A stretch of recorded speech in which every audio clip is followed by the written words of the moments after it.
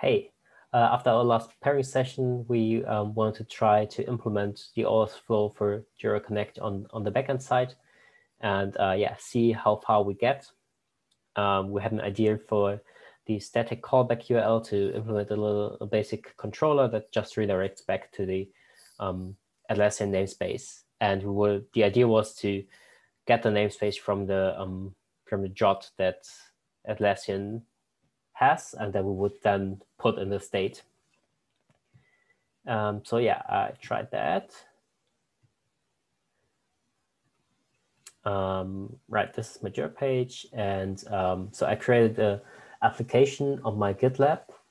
Um, I did it on, on the admin area because I think uh, if we do that, for example, if we do that on gitlab.com, we don't need to ask the user to create an application for themselves. We can just use this application for everyone.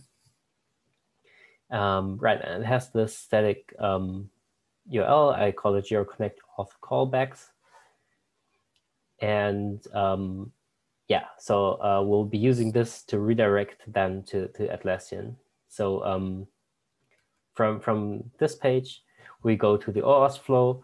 OAuth flow will um, then go to my controller and my controller will figure out the namespace and then um, yeah, redirect basically and contain the, the code that we receive from, from the OAuth flow.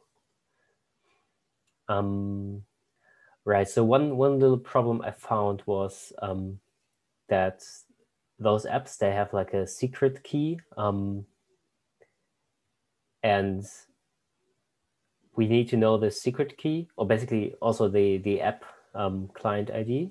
Well, I can show that. So this is my OAuth flow link. Um, inspect this one.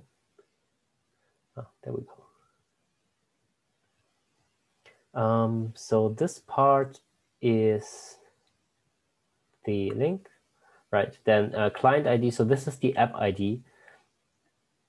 And like I said, for GitLab.com, we can have a have an app. We can just um, yeah create in the admin area, and then we can basically hard code this app ID. But for self-managed instance, we need to ask the self-managed admins or users to create an app, and we need to have a way to enter this client ID somewhere. But yeah, we can figure this out later, I guess.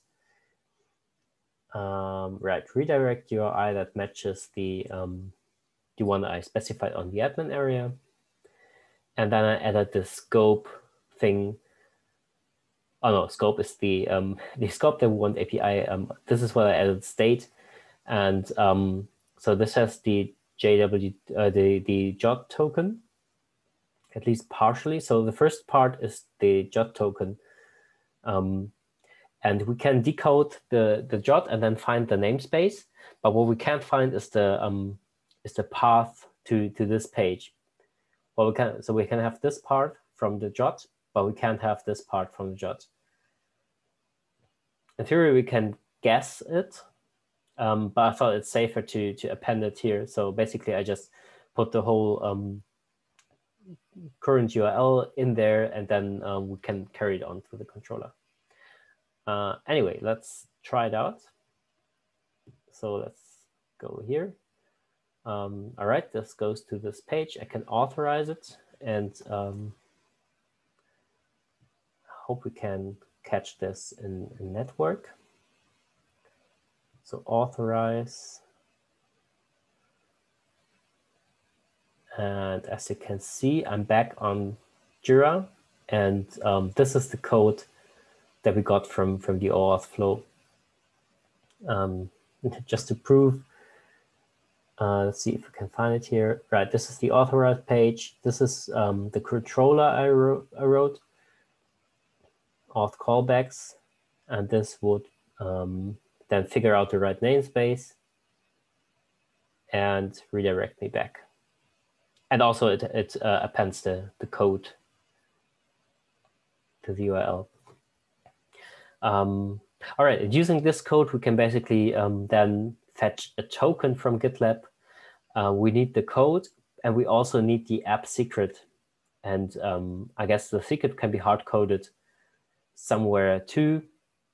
Um, and yeah, I guess for self-managed instances, we also need a way to add this.